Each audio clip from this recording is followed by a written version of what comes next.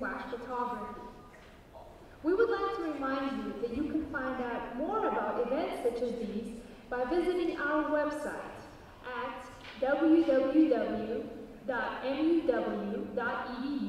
slash music. Thank you, and please enjoy the performance.